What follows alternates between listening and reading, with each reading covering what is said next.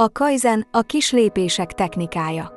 Ezt a módszert az amerikaiak fejlesztették ki akkor, amikor beléptek a második világháborúba. Fel kellett pörgetniük a gazdaságukat, de nem rendelkeztek megfelelő mennyiségű tőkével a fejlesztéshez.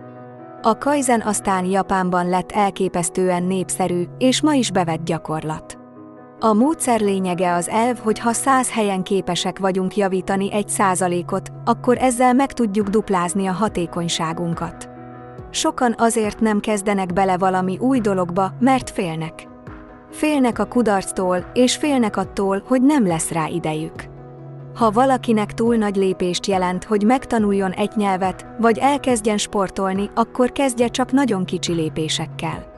Csak napi 10 percet foglalkozzon nyelvtanulással, de minden egyes nap.